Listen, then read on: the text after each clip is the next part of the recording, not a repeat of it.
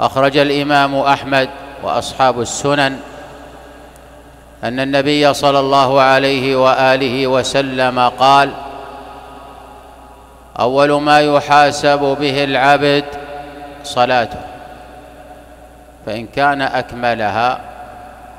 وإلا قال الله عز وجل انظروا لعبد من تطوع فإن وجد له تطوع قال أكملوا به الفريضة.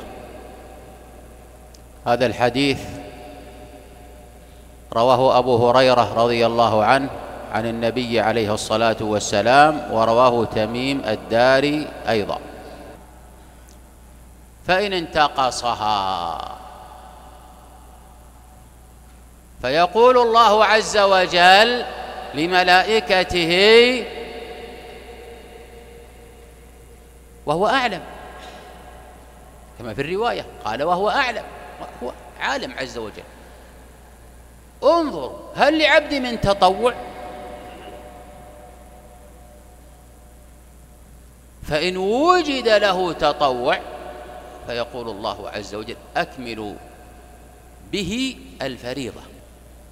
ثم قال عليه الصلاة والسلام ثم تؤخذ الأعمال على حسب ذلك. الأعمال المفروضة كما في الرواية الأخرى تؤخذ على حسب ذلك. الصوم انتقص منه شيئا هل له صيام تطوع؟ يكمل. الحج وهكذا سائر.